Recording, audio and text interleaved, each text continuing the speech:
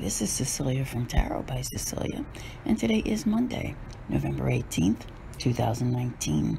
The tarot card for today is the High Priestess. I'm absolutely loving this image today.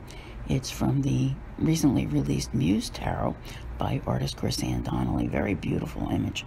It is possible today to look like you're auditioning for a V8 commercial as you, you know, smack yourself in the head, uh, that face palm kind of thing, where you're going, I knew it. That all those shoulda, coulda, wouldas, like, I knew this was going to happen. I would have done this. I real, I realized it was going to, you know, that that intuition kind of thing. Okay, and maybe you you knew it, but you just weren't really quite paying attention to it. Yeah. It's one of those things. However, what I really, really feel very strongly about today, and remember yesterday we talked about facts. Today, I think there is going to be much ado about secrets. Could be secrets that people wish didn't come out, but they do today. You know, I'm just thinking, you know, it's like if you felt like you had a hunch that something was true, it may very well be revealed to you. Uh, pay attention.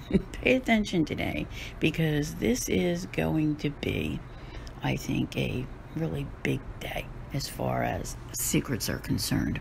Remember, we are very close to the end now of Mercury retrograde in Scorpio.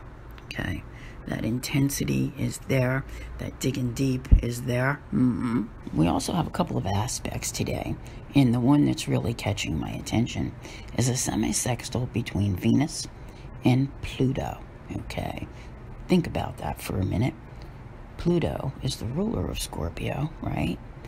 All about those secrets, I'm telling you. Today is about secrets, and there is maybe even a desire here to uncover them. So, you know, are you thinking about it? Is it playing out in front of you? There, there's definitely, I feel like this is an important moment, whatever that means. You know, as we're winding up this Mercury retrograde and there is a review, we have a Leo moon today. And I almost, there's a part of me that keeps seeing as if there is a person who is telling a secret and quite proud of their knowledge, you know, like in that boastful Leo manner, okay? Something something's going on, you know. Is it a bombshell?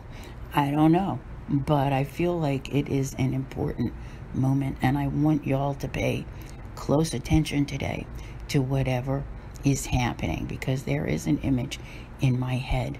It's almost like like someone being questioned and they reveal. Okay? So, you know, if you're talking to someone today and they ask you something, you know, if there's a secret that you don't want to get out, you may want to consider how you answer that question. There's, there's definitely, I, I you know, I want to hear your stories. I want to hear your thoughts on this because something is happening. And I feel like it's almost like it's downplaying it. It's kind of like I knew it all along, but in your saying it out loud, you are verifying it to me. Does that make sense? Okay, because it makes perfect sense to me. And there is something that's here. something that's here. Uh, I can't wait to see what it is, honestly. You know, like I said, you could be having that V8 moment, like, I knew it, right? Yeah.